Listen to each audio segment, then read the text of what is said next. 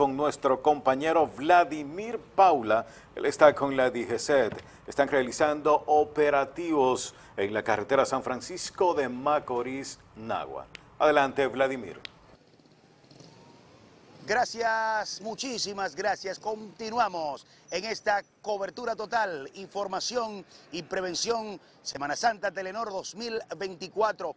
Bueno, en esta ocasión nos encontramos en la carretera San Francisco de Macorís, Nagua o Pimentel, específicamente en el tramo de la entrada a la comunidad de Las Guaranas. Y en estos momentos vemos imágenes como miembros de la DGC están colocados justamente en esta eh, intersección una intersección que se hace necesario que sea así por el flujo de vehículos y por los riesgos que representa también la misma. Y para conocer un poco más acerca de lo que está ocurriendo la mañana de hoy eh, aquí en San Francisco de Macorís, vamos a conversar con el comandante de la DGC en esta localidad. Vamos a ver, hablamos con el comandante Castillo.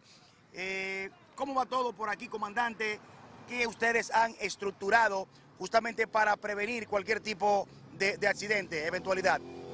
Buenos días, bendiciones hermanos, gracias por la pregunta. Mayor Castillo, comandante departamental de la DGC. Aquí estamos dándole continuidad y eh, las instrucciones de nuestros superiores inmediatos de DGC de mantenernos en los diferentes lugares estratégicos o puntos vulnerables, presencia y con la viabilización para facilitarle a todos esos conductores que se desplazan hacia sus lugares a recrearse, que lleguen seguros. A propósito de eso y de esas restricciones, comandante, para el día de hoy, el día más sagrado, el día de la, eh, donde se conmemora la muerte de Jesucristo, ¿cuáles son las medidas que se están implementando, las restricciones y qué se le está diciendo a los, conductores? Bueno, eh, las instrucciones de nuestro superior es que todas las personas que se están transitando en motocicleta, que son nuestro dolor de cabeza, que son las personas que salen más lesionados eh, cuando pasamos balance al final de este operativo Semana Santa, que son los motoristas, eh, para que cuando se dirijan hacia un lugar anden con su casco, también cuando andan más de dos personas se les retiene la motocicleta para fin de evitar accidentes y de que esa persona no sea contabilizado entre los heridos y los muertos de esta Semana Santa. Exhortarle de manera definitiva entonces a los vacacionistas durante este asueto que transiten con prudencia, que si van al volante que no tomen bebidas alcohólicas y que lo hagan con prudencia, que el país y su familia lo esperan en casa. Muchísimas gracias al comandante Castillo encargado de la DGC en este municipio de San Francisco de Macorís. Y bueno, ya ustedes han escuchado parte de las instrucciones que ellos como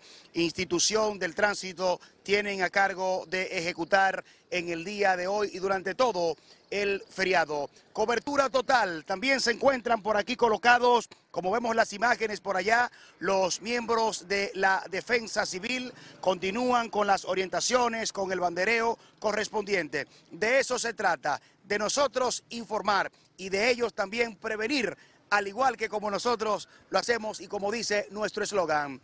Cobertura total desde San Francisco de Macorís, Telenor, Semana Santa 2024, información y prevención. Vladimir Paula, retorno con ustedes.